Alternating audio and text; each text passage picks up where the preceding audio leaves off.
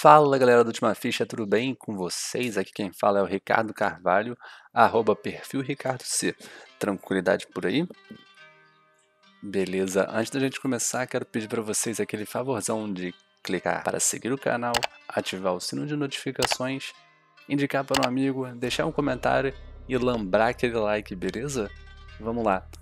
Ontem foi anunciado Game Awards 2020. E é claro, a gente tem que dar um comentário aqui, um papinho com vocês sobre essa premiação, certo? Mas como são muitos jogos, a gente decidiu fazer esse formato um pouco mais resumido. Vamos lá?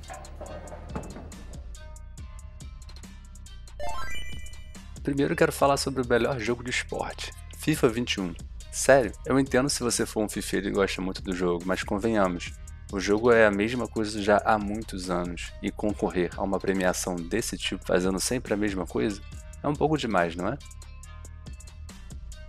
Por outro lado, temos a inclusão de Tony Hawk's Pro Skater. Depois de um bom tempo, jogos de skate voltam à premiação de melhor esporte. Isso é muito legal. Em seguida, pulamos para multiplayer. Aqui eu gostaria de dizer duas coisinhas. Primeiro é Among Us, um jogo de 2018 tudo bem, eu entendo uma febre enorme ao redor do jogo, porém, gente, é o Game Awards de 2020. O outro ponto é, Star Wars Squadron está fora. Por que seria? Porque o jogo não está tendo muito envolvimento da comunidade? Porque é de Star Wars, isso reduz a ele um nicho específico? Na categoria de jogos de celular e móveis, eu repasso a minha crítica de Among Us. É um jogo de 2018. Pera lá, né, gente? Melhor jogo independente e multiplayer incluíram Fall Guys. Bem, vocês sabem que eu e grande parte do pessoal aqui do site do Última Ficha gosta muito de Fall Guys. Porém, a gente tem que admitir, o jogo ele tem muitos problemas ainda hoje. E a gente está falando sobre uma premiação anual dos melhores jogos. E eu vou ser muito sincero com vocês, eu acho que Fall Guys não deveria estar nessa lista melhor jogo contínuo. É aquele jogo que está recebendo suporte ano após ano. E aqui eu vou chamar a atenção para vocês do seguinte jogo, No Man's Sky.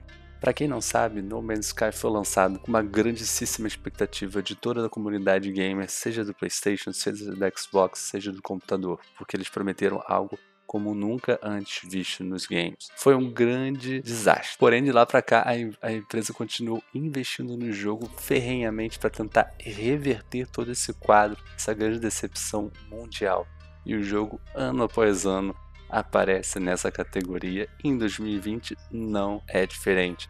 Será que dessa vez leva? Para direção e Game of the Year, nós temos aqui a grande surpresa da noite, que é o jogo Hades. Um jogo independente que surpreendeu todo mundo e está fazendo bonito aqui nessa premiação, concorrendo a vários prêmios. Além dele, nós temos, é claro, o grandíssimo favorito The Last of Us Part 2 e também Ghost of Tsushima, dois grandes títulos da Sony para o PS4. Outro ponto que eu acho importante ressaltar aqui é que nós não estamos vendo a indicação de Ori and the Will of Wisps.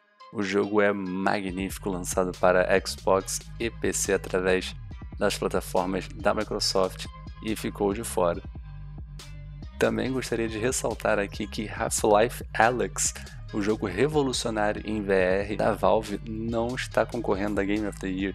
Isso aqui é muito interessante, porque o jogo realmente dá um passo muito à frente no quesito do VR, e isso não foi levado em consideração para a escolha de ser nomeado a Jogo do Ano.